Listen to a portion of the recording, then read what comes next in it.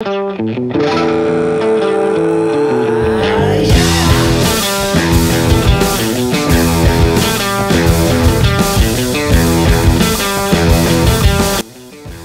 hallo Lieben, vielleicht sitzt ihr auch schon ähm, an eurem Weihnachtstisch. Vielleicht habt ihr schon eine Bescherung gegeben, vielleicht geht ihr in die Kirche heute, vielleicht habt ihr aber auch einen scheiß Weihnachten.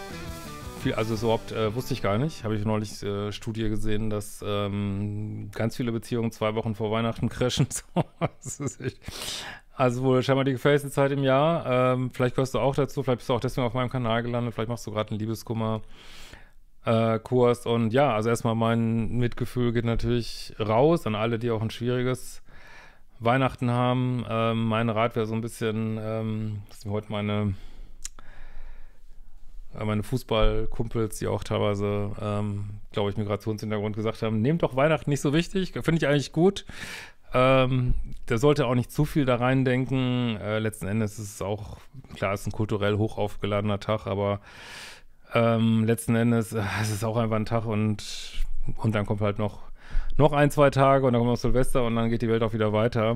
Ähm, aber trotzdem weiß ich natürlich, dass, äh, wenn es richtig scheiße läuft, dass man sich ähm, da vielleicht auch nicht gut fühlt. Also, aber genau, wenn du in so einer Situation bist, habe ja auch Kursmaterial dazu, aber darum soll es jetzt heute gar nicht ähm, so gehen. Auf jeden Fall denke ich immer ein guter Ratschlag, äh, Selbstliebe zu pflegen und versuchen, wenn man auch niemand anders hat, sich selber in irgendeiner Form, äh, energetisch zumindest, äh, zu beschenken zu Weihnachten. Ähm, was ich aber heute mal fokussieren, meistens mache ich ja so 5D-Liebe-Videos zu Weihnachten.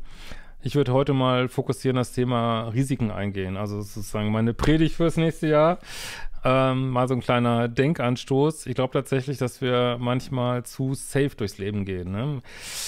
Davon ausgenommen sind natürlich Leute, die äh, hochtoxische, liebessüchtige Beziehungen führen. Äh, die fahren natürlich ein extrem hohes Risikolevel. Die sollten jetzt nicht denken, ich sollte noch mehr Risiko eingehen. Aber viele leben ja auch in Strukturen, die irgendwie unbefriedigend sind. Äh, das Gefühl, der Alltag ist in einerlei und äh, man hat so das Gefühl, ähm, ja, oder hat eine Midlife-Crisis und man hat so das Gefühl, es bewegt sich eigentlich gar nichts. Also da, da kann man immer ein bisschen dran denken, dass Leute auf dem Totenbett scheinbar oft sagen, man bereut nicht das, was man gemacht hat so sehr, sondern viel öfter das, was man nicht gemacht hat. Und ich glaube, da ist super viel dran. Ähm, also insofern überlege ich wirklich nochmal, was sind deine Träume, was sind deine Lebensträume, was äh, erlaubst du dir vielleicht nicht, nicht, dass man alles machen sollte, wenn jetzt so ein Lebenstraum ist, aber ich möchte gerne mal äh, mir so, was weiß ich, weißes Pulver durch die Nase ziehen, ähm, den ganzen Tag irgendwie, das ist vielleicht kein nachhaltiger Lebenstraum, also versteht schon, was ich meine. Äh, natürlich muss man das ein bisschen überprüfen oder holt man sich da wieder irgendwas Toxisches ins Leben, wenn man diesen Lebensträumen nachgeht. Aber grundsätzlich gilt auch für Beziehungen, gilt auch für Freundschaftsbeziehungen. Also wenn da so, weiß ich nicht, überhaupt kein, kein Vibe drin ist, kein Thrill drin ist, wo kannst du, also was möchtest du eigentlich? Was traust du dir nicht anzusprechen? Also so mehr Ehrlichkeit in der Kommunikation würde ich gerne mal vorschlagen. Ähm, auch passend zu diesem People-Pleaser-Kurs, der jetzt bald rauskommt. Äh, wo sagst du nicht, was du denkst? Äh, wo sagst du nicht deine Gefühle? Wo sagst du nicht deine Zweifel? Einfach zum Beispiel, weil du ein Gutmensch sein willst, weil du keinen Ärger produzieren willst. Ähm, aber du gleichzeitig schwächst du damit deine Kontakte und deine, deine Beziehungen, ne? Machst sie schwächer.